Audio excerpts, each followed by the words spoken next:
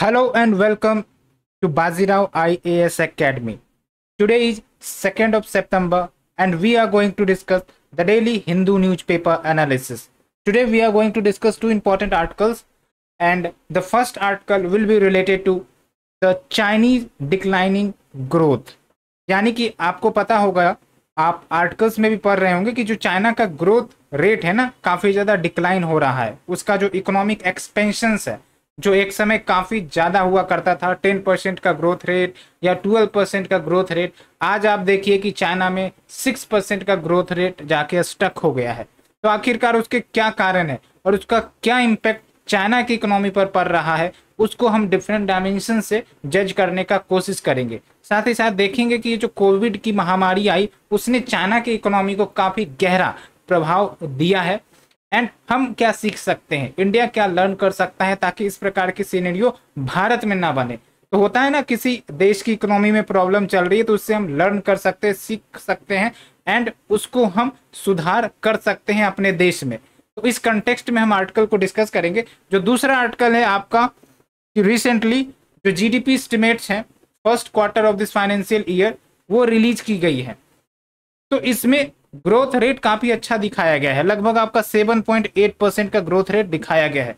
तो एक्चुअली आगे भी इस प्रकार का ग्रोथ रेट कंटिन्यू रहेगा, उसको हम देखेंगे। क्योंकि आने वाले समय में हो सकता है जो मानसून का पैटर्न जिस प्रकार से दिख रहा है, काफ़ी ज़्यादा रेनफॉल डेफिसिट जैसी कंडीशंस बन रही है और इससे हमारा एग्रीकल्चर काफ़ी ज़्यादा प्रभावित हो रहा है and it is resulting into the export related issue that's why India जो है इम्पोर्ट पर या फिर बेसिकली एक्सपोर्ट पर बैन कर रहा है। ठीक है? जैसे आपने सुना होगा कि जो आपके राइस एक्सपोर्ट भारत करता था तो उस पर एक्सपोर्ट पर बैन लगाया गया है या फिर टैक्स बढ़ा दिए गए हैं। तो इन सब आर्टिकल्स पर हम डिस्कस करेंगे। Hope you understood the context now shifting our focus to our editorial discussion the first article is related to the GS paper two and we will discuss this topic but before starting the discussion आपको mains का question attempt करना है related to the article China is facing slide in its economic growth due to various factors analyze how it may impact its ambition of becoming a global superpower and also mention its impact on India's interest. आपको थोड़ा सा सोचना है इस question पर. And सोच कर आपको पॉइंट्स निकालने हैं. उसके बाद आपको आंसर्स इंटीग्रेट करने हैं. तब चीज़ें आपके लिए आसान हो जाएगी, ठीक है?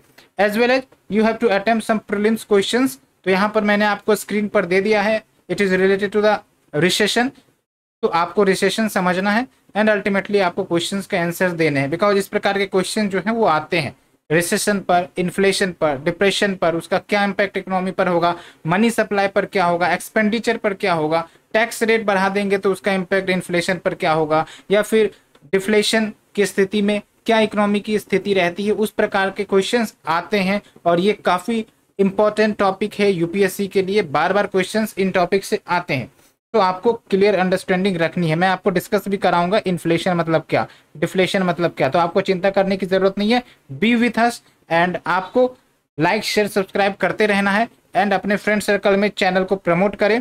Definitely we are launching some of the new initiatives in the coming times but आपका सपोर्ट होना काफ़ी ज़्यादा ज़रूरी है।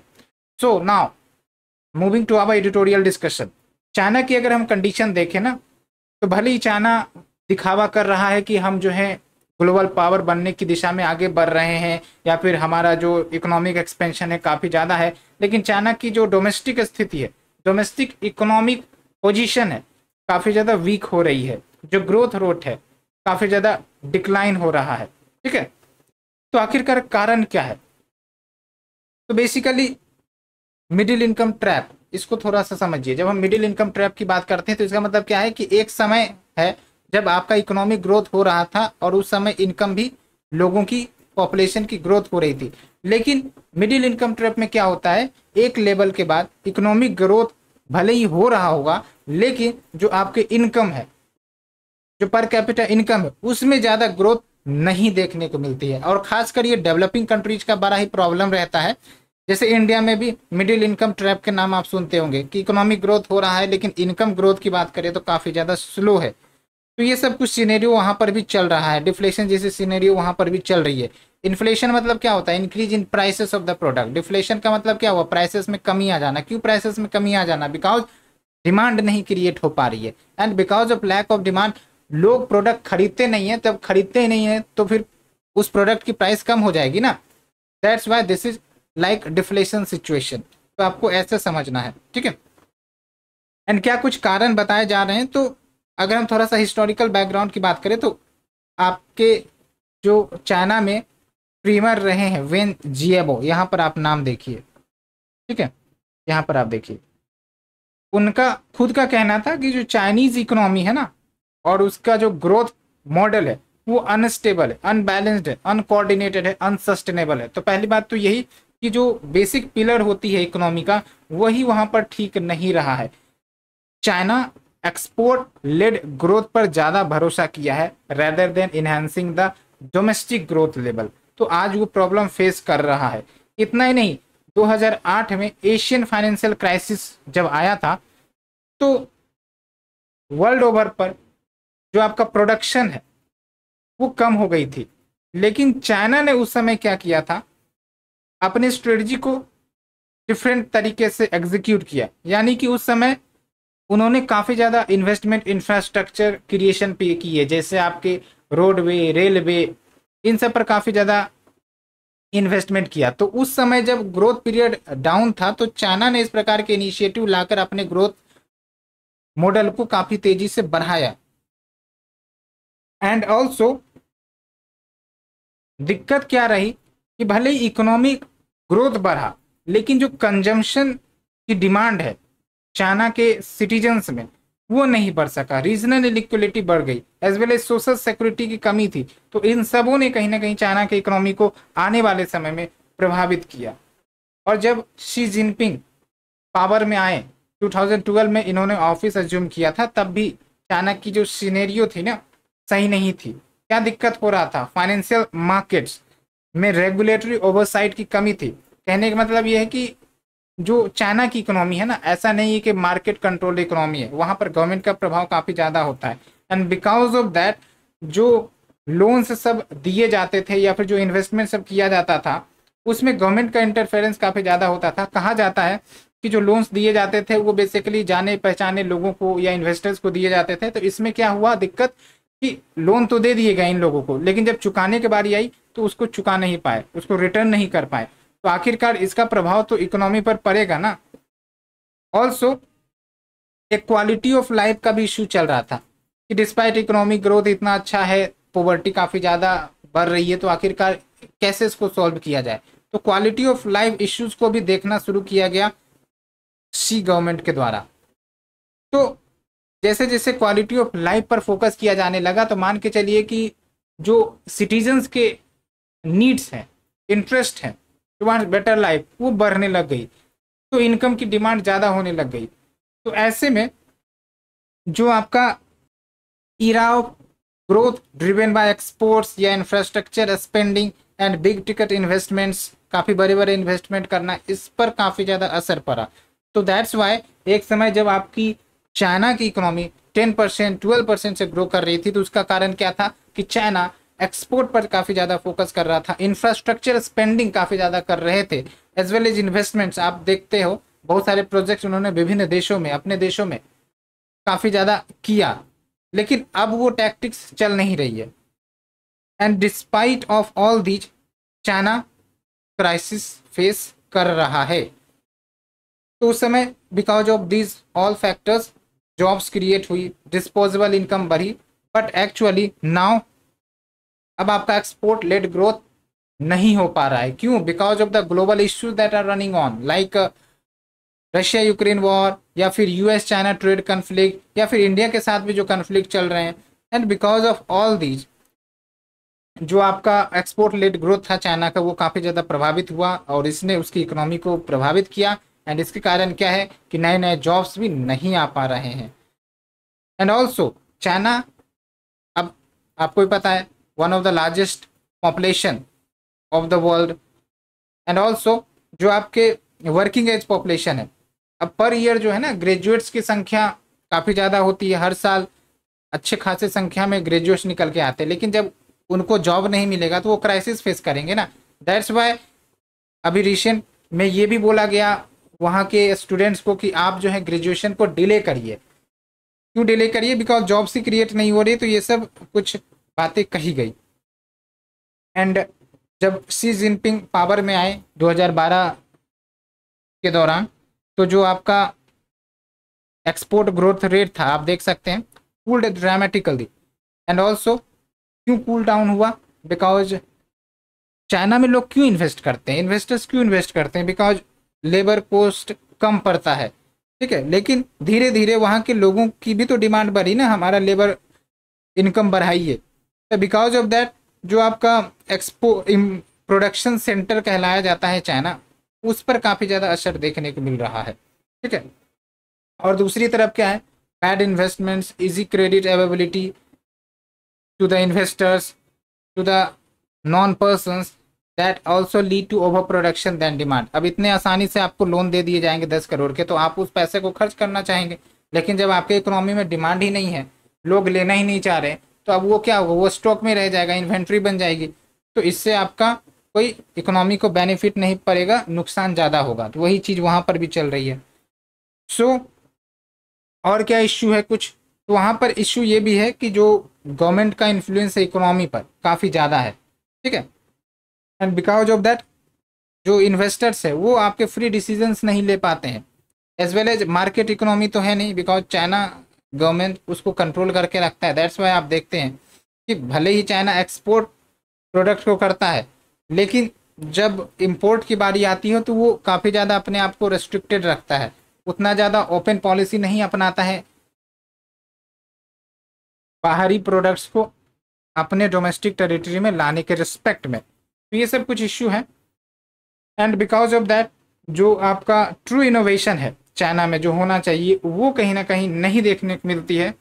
एंड ऑल्सो ये जो आपका प्रेजेंट गवर्नमेंट है, उन्होंने बोला था कि हम इकोनॉमी को थोड़ा सा ओपन करेंगे मार्केट बेस्ड इकोनॉमी बनाएँगे। ये आपका बात हुई थी 2013 में ही एटीन सेंट्रल कमेटी कॉन्फ्रेंस उसके बाद जो प्रेजेंट प्रीमियर है, उन्होंने इनिशिएटिव्स भी लिया।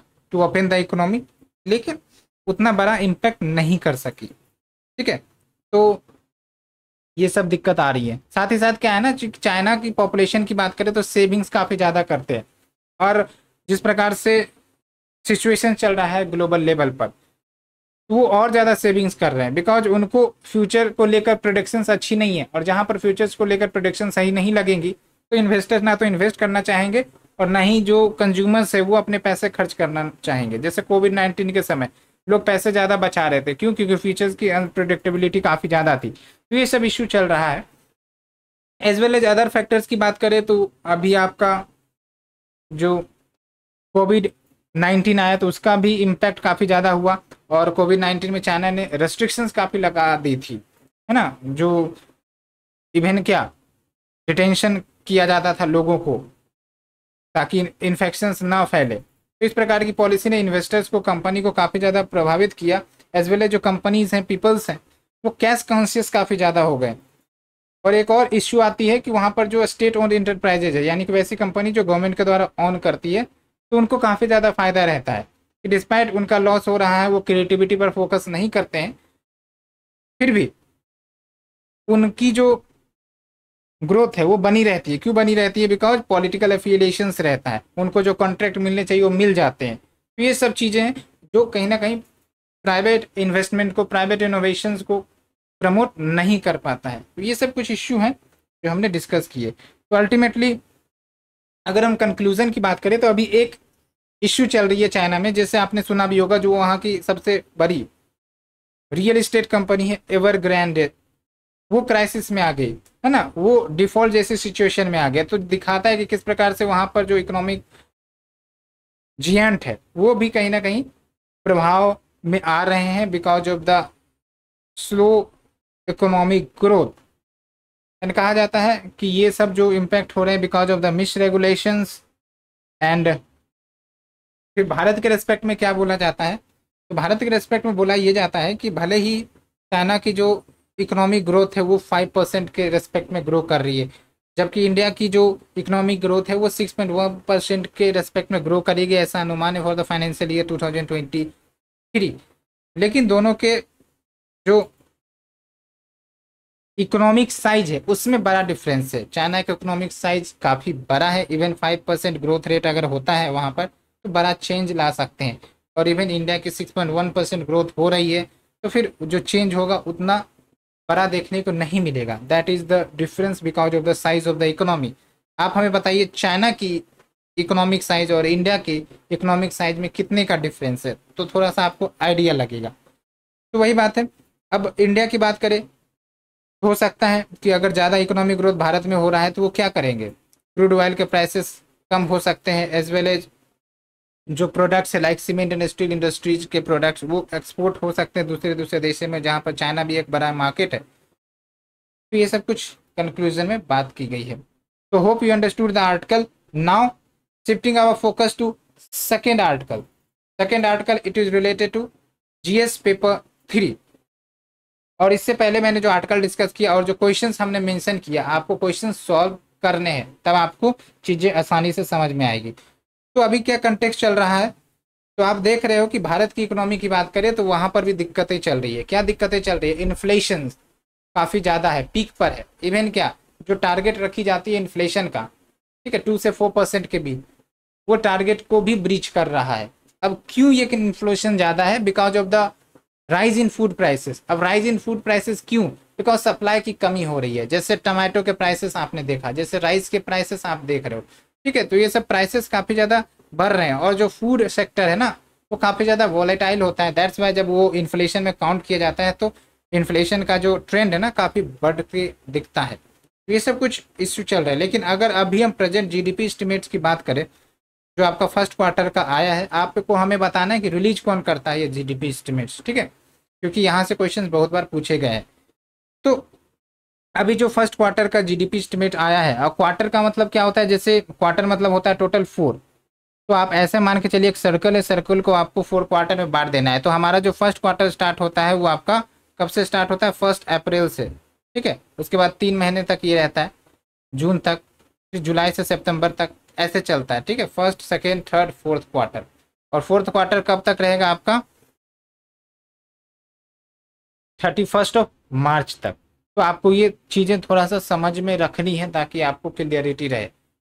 ठीक है तो क्या होता है कि जो क्वार्टर का ग्रोथ रेट है वो रिलीज़ किए जाते हैं, फिर अल्टीमेटली आप देखोगे कि फाइनल जीडीपी का जो ग्रोथ रेट है वो पता लगाया जाता है तो ये सब कुछ मेज़रमेंट के ट्रेंड्स है। लेकिन हम यहाँ पर उस ट्रेंड को फोकस नहीं करेंगे। बस ध्यान ये रखना है कि अभी जो है, फ़र्स्ट क्वार्टर में भारत का जो इकोनॉमिक ग्रोथ निकल कर आ रहा है, जीडीपी ग्रोथ निकल कर आ रहा है, वो seven point eight percent. RBI ने वैसे इस क्वार्टर के लिए एट परसेंट का अनुमान लगाया था, लेकिन चलो मैचिंग है, उतना ज़्यादा डिफरेंसेस नहीं है। तो इस हिसाब से इंडिया जो है फास्टेस्ट ग्रोइंग मेजर इकोनॉमी है, अगर हम देखें, और चाइना की जो इसी पीरियड में ग्रोथ रेट है, वो सिक्स पॉइंट थ्री परसेंट है। ठीक है? और चाइना में क्या चल रहा है? स्लो डाउन चल रहा है।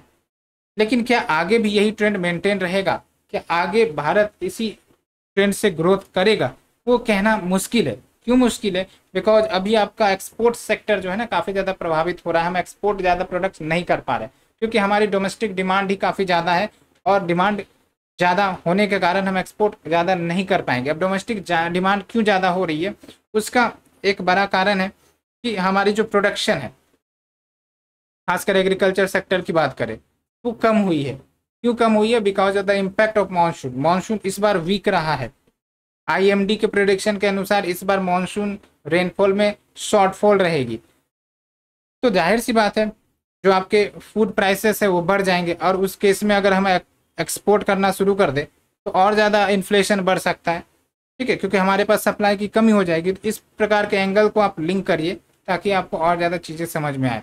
हालाँकि अगर हम growth sector in the agriculture की बात करें तो जीबीए जो रहा है growth value addition in the farm sector तो 3.5 परसेंट रहा इन द क्वार्टर वन लेकिन सर्विस सेक्टर की बात करें तो यहाँ पर भी चीज़ें अच्छी परफॉर्म की है लाइक 9.2 परसेंट बट अगर हम मैन्युफैक्चरिंग की बात करें एम्प्लॉयमेंट इंटेंसिव सेगमेंट होता है ये मैन्युफैक्चरिंग तो वहाँ पर जो ग्रोथ रेट है, वो अच्छा परफॉर्म नहीं किया है। तो अब जब यहाँ पर अच्छा परफॉर्म नहीं किया, कैसे में पता चल रहा है? क्योंकि एम्प्लॉयमेंट जनरेशन नहीं हो पा रही है। और एम्प्लॉयमेंट जनरेशन नहीं हो रही है तो इसका इम्पैक्ट इकोनॉमिक इनकम पर पड़ेगा सिटीजन्स के। ठीक है? तो क्या ये इंडिकेट करता है कि अभी भी प्राइवेट इन्वेस्टमेंट उतनी ज़्यादा नहीं आ पा रही है? गवर्नमेंट जो है कैपिटल स्पेंडिंग ज़्यादा कर रही है ताकि जो इकोनॉमिक ग्रोथ की डिमांड है उसको रिवाइव किया जा सके। जैसे एक डाटा भी दिया जाता है आपका कि प्राइवेट कंजम्पशन एक्सपेंडिंग है, वो सिक्स परसेंट से बढ़ी है। प्राइवेट कंजम्पशन एक्सपेंडिंग मतलब वैसे स्पेंडिंग जो गवर्नमेंट न करती हो गवर्नमेंट के अलावा जो सिटीजन सब करते हैं वो है। जैसे स्पेंडिंग की बात करें तो मतलब खर्च। गवर्नमेंट कैसे स्पेंडिंग करती है? जैसे कोई प्रोडक्ट्स मंगाने हो डिफेंस प्रोडक्ट पर खर्च करने तो वो सब स्पेंडिंग हो गया। अब प्राइवेट कंजम्पशन मतलब जैसे आप खर्च करते हैं, बहुत सारे प्रोडक्ट खरीदते हैं तो वो सब आपके प्राइवेट कंजम्पशन स्पेंडिंग है। ठीक है? तो वो सिक्स परसेंट से ग्रो किया है। लेकिन इकोनॉमिक्स का मानना है कि जो ये जो सिक्स परसेंट का ग्रोथ देखने को मिला है। It is actually because of the high income earner जो काफ़ी ज़्यादा पैसे अर्न करते हैं, जो रिच बैकग्राउंड से बिलोंग करते हैं। इसका मतलब क्या है कि पुअर सेक्टर अपनी कंजम्पशन स्पेंडिंग को नहीं बढ़ा पा रहे हैं। क्यों नहीं बढ़ा पा रहे हैं? क्योंकि उनके पास पैसे आ नहीं रहे हैं। पैसे आएँगे तभी तो खर्च करेंगे। जैसे एग्रीकल्चर सेक्टर की बात करें, तभी वो क्राइसिस में है।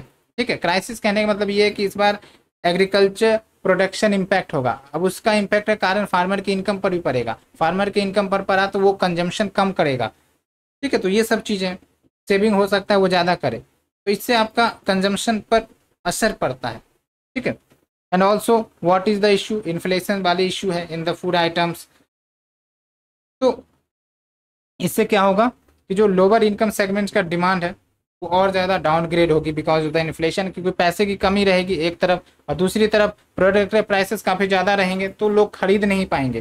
जो अफोर्ड कर पाएँगे वो तो करेंगे, लेकिन जो majority of the section of the people है, ठीक है, वो अफोर्ड नहीं कर पाएँगे। तो ये सब चीज़ें हैं। ऑल्सो जो भी हम इनिशिएटिव्स ले रहे हैं to counter inflation in the present scenario like हम एक्सपोर्ट कब लगा रहे हैं एक्सपोर्ट रेस्ट्रिक्शंस लगा रहे हैं on the rice as well as onions onions पर तो फोर्टी परसेंट ड्यूटी लगाई गई है टैक्स लगाई गई है, अगर हम एक्सपोर्ट करेंगे तो। तो इससे क्या होगा? एक्सटर्नल ट्रेड बैलेंस प्रभावित होगा। कैसे? बिकॉज़ हम एक्सटर्नल ट्रेड बैलेंस में क्या देखते हैं? कि जो भी प्रोडक्ट्स हम एक्सपोर्ट करते हैं और फिर हम इम्पोर्ट करते हैं। तो एक्सपोर्ट करने से हमें पैसा आता है इम्पोर्ट हम उन्हीं पैसे से फिर खर्च करके हम इम्पोर्ट करते हैं। तो अगर एक्सपोर्ट कम करेंगे तो पैसे हमारे पास कम आएँगे फॉरेक्स रिज़र्व में। फिर हम खर्च जो है इम्पोर्ट पर वो कम कर, करेंगे। ठीक है? तो हमारा बैलेंस ऑफ़ ट्रेड प्रभावित हो सकता है। ऑल्सो जो गवर्नमेंट ने अभी रिसेंट इनिशिएटिव्स लिया है एलपीजी सिलेंडर पर दो सौ रुपये प्राइस कट करने का तो वो भी फ़िज़िकल बैलेंस को चैलेंज कर सकता है। फ़िज़िकल बैलेंस कहने का मतलब ये हुआ कि जो एक्सपेंडिचर है, वो ज़्यादा हो जाए रेदर देन इनकम तो वो होता है आपका फ़िज़िकल डेफिसिट तो लेट से कि गवर्नमेंट जो है दो सौ रुपये कट की तो वो पैसे कहाँ से ला रही है? वो टैक्स के ही तो पैसे हैं। तो इसीलिए फ़िज़िकल इम्बैलेंस बढ़ सकता है। तो this is article we have discussed in great detail hope you understood तो आज के लिए इतना ही फ्रेंड्स अगर आपको आर्टिकल अच्छी लगी we will meet again please do like share and subscribe thank you thank you very much for the discussion